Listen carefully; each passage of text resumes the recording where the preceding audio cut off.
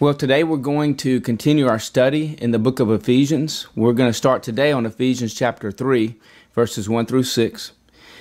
Paul is the writer of the book of Ephesians, and he says this For this reason, I, Paul, the prisoner of Christ Jesus. Remember, Paul was the one in Ephesians chapter 1, verse 1. He was an apostle sent by, by the Lord Jesus Christ. An apostle is one who's on a mission, an apostle is one who has a message. And the message that the Lord Jesus had given Paul in Acts 20 24 was the message of grace, was telling people about everything God had done for us in Christ, leaving us nothing to do to achieve salvation, but to only receive by faith what God had already done for us in Christ.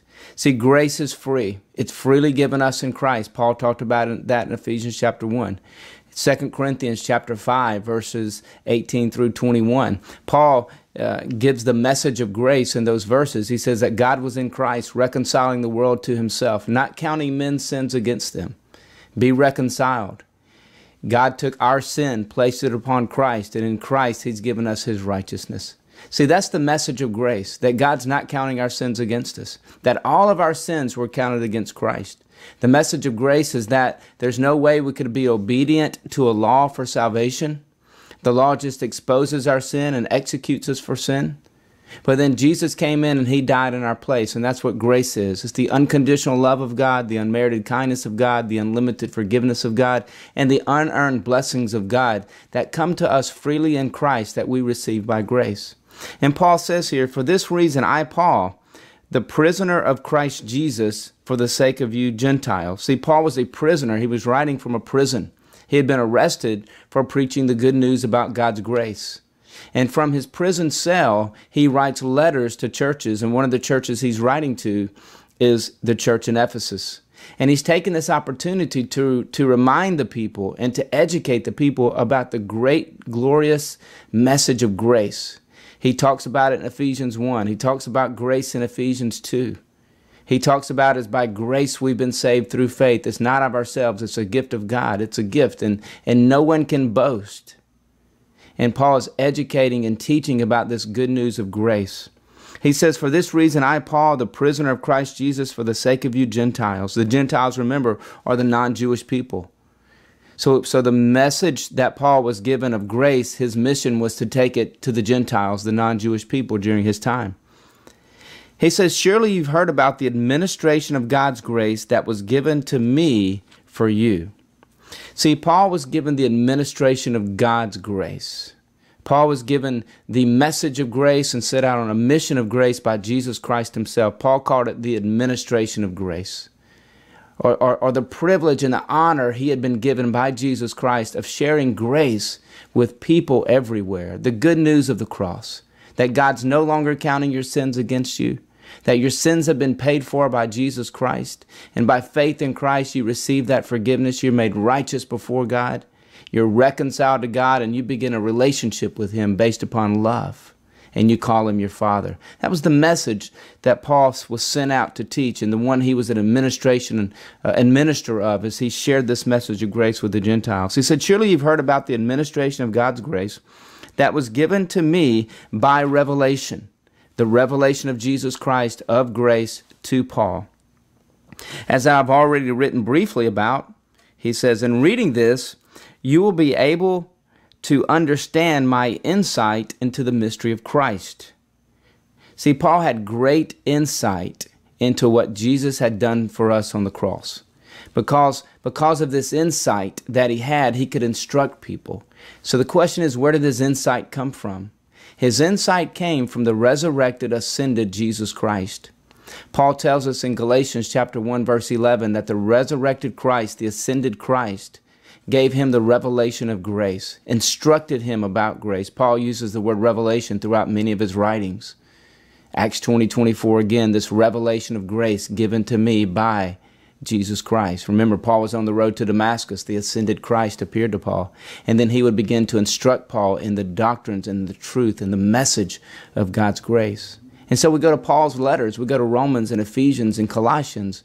And if he wrote Hebrews, we, we go to Hebrews. And if, if it didn't, Hebrews contains the message of grace. But, but it's the revelation of grace given by Paul where God began to share the grace of God with people. It says, My insight, you will understand my insight into the mystery of Christ, which was not made known to men in other generations, as it has now been revealed by the Spirit to God's holy apostles.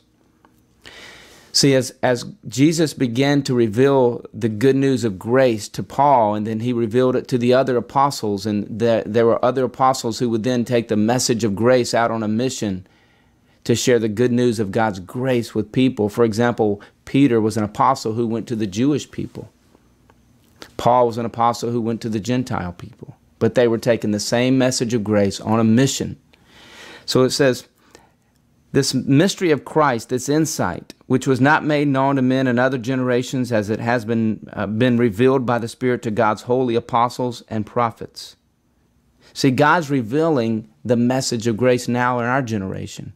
I really believe this is a, a generation that's experiencing an outpouring of grace on the hearts and minds of people and that people are beginning to see the grace of God. They're beginning to experience the grace of God. There's a hunger among the people of God for the grace of God because it's been suppressed by so many Bible teachers. It's been held back by so many Bible teachers. And so many God, people of God don't understand grace. But God loves people, and His great passion is to reveal grace to people. And there's a hunger and there's a, there's a desire among the people of God to, to understand the truths of grace within God's Word. And now that I really believe the Holy Spirit is revealing the gospel of grace, the good news of grace to people. So, this gospel, uh, this good news, the mystery of Christ, has now been revealed by the Spirit to God's holy apostles and prophets. This mystery is through the gospel the Gentiles are heirs together with Israel members together of one body, and sharers together in the promise in Christ Jesus. See, God, God gave the nation of Israel all the promises of the coming Christ, the coming Messiah, the one who was coming, we've talked about, who was going to usher in a king and wear a crown, or going to be, going to be a king and wear a crown, usher in a kingdom where there would be peace and happiness and joy. But before he could usher in the kingdom as king by wearing a crown, he had to first bear a cross. Isaiah chapter uh, 53 talks about the coming Christ who would bear would bear the sins of many. The punishment upon him would bring us peace. Isaiah 53 talks about this grace that's coming through through the Messiah through Christ. And even though it was given through the nation of Israel, the mystery was that these promises that would come through Christ, this promise of a kingdom and this promise of grace, the forgiveness of sins, would not only benefit the people of Israel, but would be for the whole world. That Israel was just going to be, would be the channel by which God would bring grace through and which God would bring Christ to, uh, to through Israel. And so now that grace has come to the people of the world, Paul would go out and he would share this message. And this message, this message is going out today. It's a message of grace that God wants everybody in the whole world to hear about. God loves the people of the world. He desires to be in a relationship with the people of the world.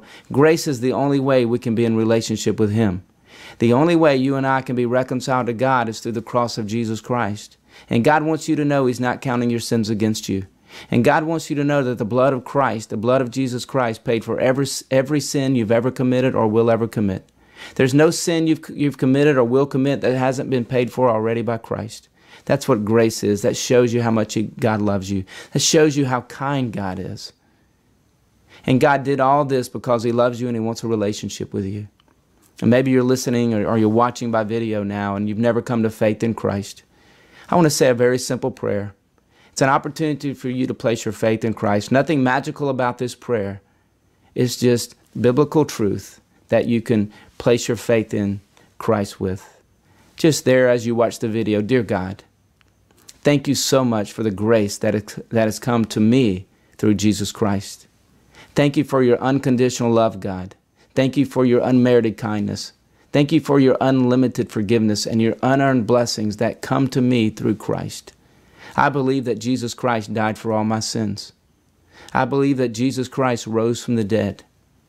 And today I'm placing my faith in Christ. I'm trusting in the payment of Jesus Christ for my sins.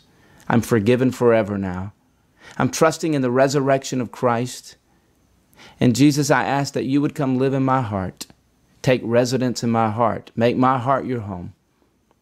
And I want to know you, God. I want to call you Father. And I don't understand what all that's about right now, but what I do know is I want to be in a relationship with you, God, through Jesus Christ. And right now, today, I'm placing my faith in you, Jesus. I hope you have a great day.